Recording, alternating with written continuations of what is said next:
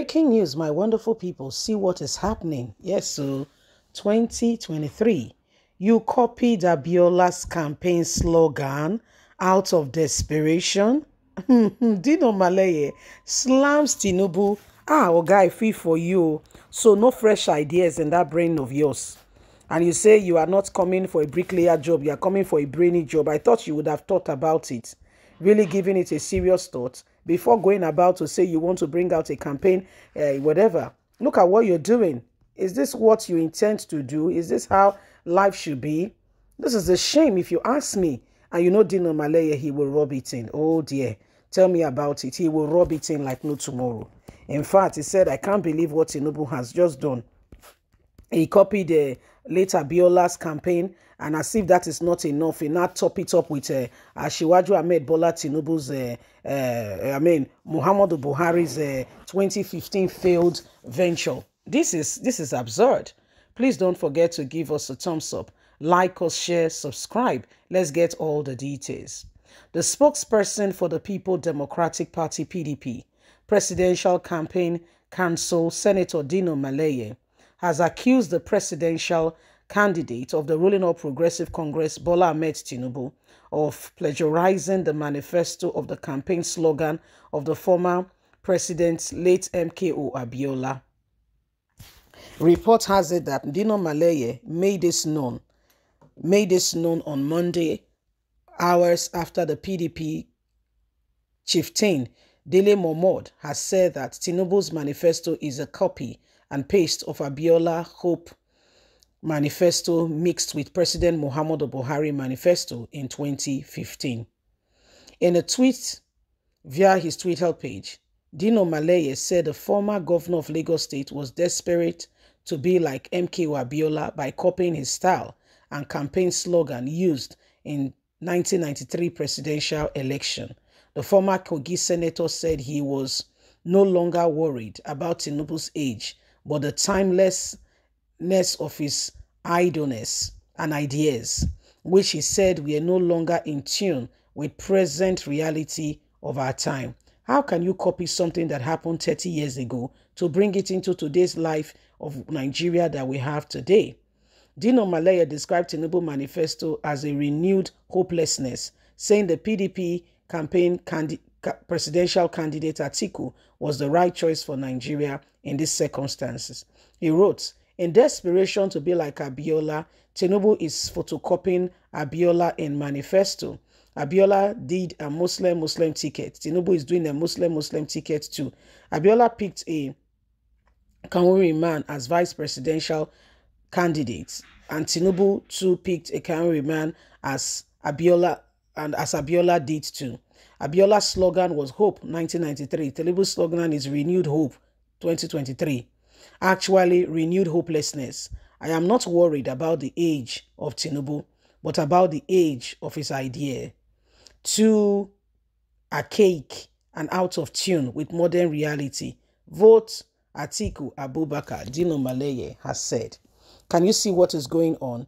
They are, I mean, the, the, the fight is on. The race is really is really seriously going on and uh, everybody can see for themselves that uh, it's no longer business as usual. Things are becoming more than you can imagine. Everybody is rising up to the occasion and saying enough is enough. You know the whole thing and everything that is happening have shown to us again and again that the time for nigerians to arise and do not allow those people to continue on their track is now. Let's rise up. Let's ensure that the situation change the change when if the change is going to come, okay, we are we are going to we are going to have to work at it. If change is going to come, we're all going to have to do something about it. You and I will have to rise up and you know personally go on the grassroots and do campaign. You know, you know, we have to do the campaign together. Okay, we have to do it together. So this is what is happening. This is what is going on everybody we are all in this together. You know we are all in this together. And if anything is going to is going to change then you must see change happen in the real direction of how it ought to be. Change as it ought to be. That's the only way we can truly make an effective you know meaningful position in or in the face of what is going on right now. The people and everything standing in front of us show to us again and again that this persons, these people are just doing things like a wise good chase, chase, if you ask me. Okay, they are just doing things for themselves. And sadly, this is not what Nigerians anticipated or ever hoped or prayed for. So if anything is really going to change, there is real cause for concern. You know, we all will have to rise up to it and begin to see to it that the change we anticipated, the change we've all been envisaging, come to reality. Okay, so it is what it is. It is what it is, and it is time to rise up. It is time not to allow, okay, Nigerians to be, because they've told us before, say, ah, poverty is whining Nigerians. Nigerians are poor. Ah, this, that's why, you know, they, they are making, they are doing whatever they are doing. You know, this is what, and so if hope is going to be restored, every one of us will have to work at it. Every one of us will have to do something.